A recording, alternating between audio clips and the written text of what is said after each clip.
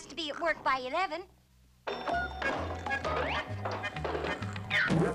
Well, an ice cold shower should get him started. Ooh, ah, ee, ah, yeah. I'll get it. Morning, George, dear. Ah, morning, Gloria. Honey, it's your friend Gloria, the cute-looking one. Gloria, oh dear. I can't let her see me looking like this. I've got to put on my morning mask. I'll be right there, George.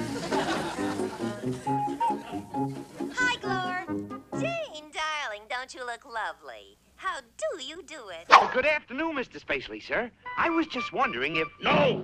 You can't have the afternoon off.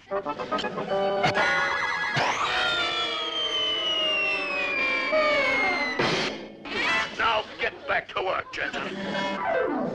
Gee, I wonder why he had that installed. Come on, let's go home, Rosie. Yes, ma'am. We can't guarantee her, you know. Well, How do you like it, Astro? Oh, Roy, this is great. Oh boy, this is great. Yeah. Oh gee, Daddy's just gotta let me keep you. Oh, Rosie, you darling, beautiful girl. Afternoon, Miss Judy. You learn this exercise in school? We're dancing, Rosie. Maybe you are. All I'm doing is winding up my string.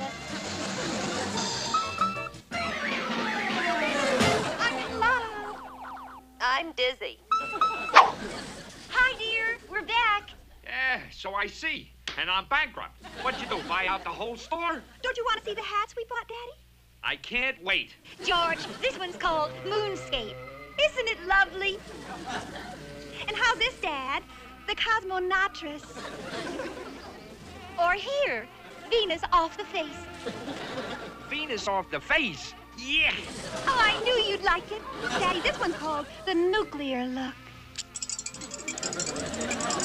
How do you like them, dear? Well, just answer me one question. How come you're rushing Halloween this year? Oh, Daddy, how old-fashioned can you get? Go get him, Dad.